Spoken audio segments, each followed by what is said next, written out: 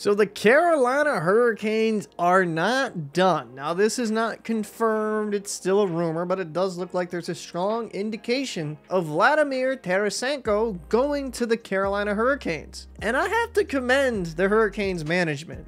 They understand they are very close to reaching the ultimate goal, and they are fully buying in. Now, I mentioned the great depth of Carolina in my previous video and, how impressed I've been with the Hurricanes in this offseason. If they decide to get Tarasenko, this is gonna be a remarkable get. So last year in 69 games played, he had 18 goals, 32 assists for 50 points. For y'all that know that he was traded from the St. Louis Blues to the New York Rangers as a rental to hopefully bring the Rangers another Stanley Cup. Obviously that didn't pan out. But in 31 games played for the Rangers, he had 8 goals, 13 assists for 21 points. That's overall pretty pretty decent production. The season prior in 21-22, in 75 games played, Tarasenko had 34 goals with 48 assists and 82 points. If Tarasenko can be a 30 plus goal scorer for the Carolina Hurricanes, that would just be ridiculous death because you already have Sebastian Aho who had 36 last season, Svechnikov who had 23 goals in only 64 games played, Necas had 28, you bring in Bunting who had 23 but has the potential to score more, you would be looking at a pretty damn deep lineup. And I don't think it's out of the realm of possibility for Tarasenko to hit 30 30. Heck, with as much talent they have on this team, he could maybe skirt with 35 plus goals. Now, I've heard some good friends of mine that are Ranger fans say that he's washed. I don't think that's the case.